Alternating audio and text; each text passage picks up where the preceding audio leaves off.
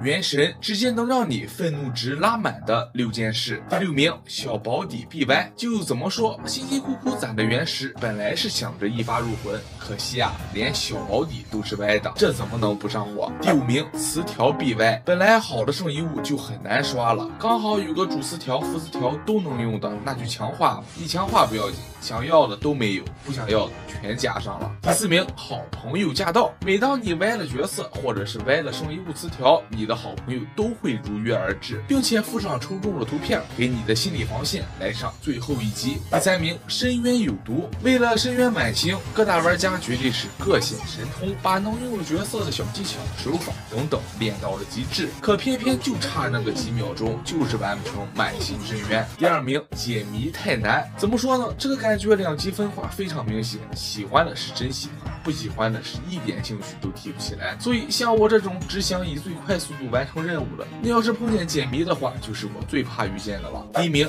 有一说一，原神中的剧情还是非常不错的，但随着版本的不断更新，任务的加剧，面对着剧情也是渐渐的失去了耐心。如果有不同意见，欢迎评论区讨论。有些事真的能让你快乐一整天。单发出金，一发入魂。抽卡这个东西真的很讲究运气，有的人就能单发出金，而且还能十连双黄、三黄。但我可能只配拥有大保底，辛辛苦苦攒的原石，就这么付出东流。但我相信屏幕前的你肯定能单发出金，欧皇附体。强化不歪，就算是你拥有最好的圣遗物，但没有强化到自己心仪的词条，还是白搭。所以，真要是在圣遗物强化的过程中加到自己需要的词条上，那肯定会非常开心的。周本出原胚，原胚可以用来锻造武器，而且有一些武器还是非常契合角色的，所以也是深受玩家喜爱。虽然我们可以通过其他的途径去获取原胚，但始终数量有限，所以周本中的原胚就显得格外重要，恰好就够。角色收集是不是需要通破？而突破是不是就需要材料？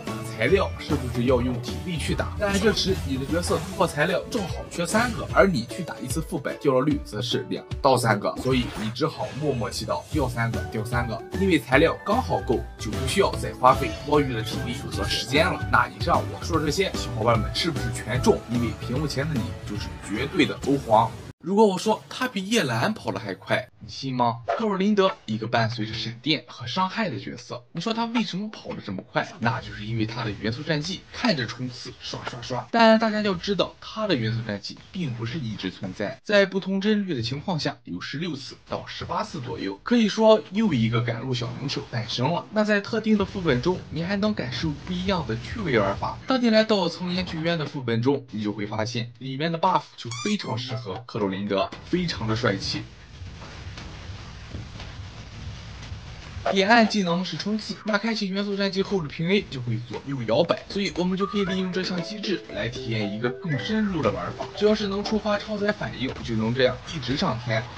他的元素战绩除了上面的玩法外，还能在水上进行短暂停留，但不能赶路。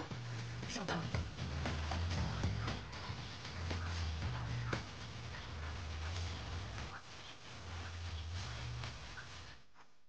这是正常情况下的起身速度，还算精准。是开启元素战绩后的起身速度。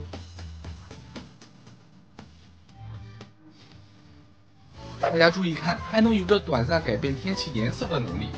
所以说，一个元素战绩可谓是用到了极致。如果还有哪些趣味玩法，欢迎补充讨论。什么？原神中的绝版角色竟然高达两位？没错，第一位是萌新都没有看见过的艾洛伊，他的出生版本在二点一和二点二中。第二位则是将近两年没复刻的尤拉了，上次出现在二一年十一月二点二版本中。也看了很多大神预测的三点七、三点八版本复刻角色，好像都没有尤拉的身影。这样下去，很有可能猜。想就会变成现实。咱先不说尤拉，说一说别的角色的一些小细节。就比如我们看罗莎莉亚，是不是觉得她的长发很飘逸？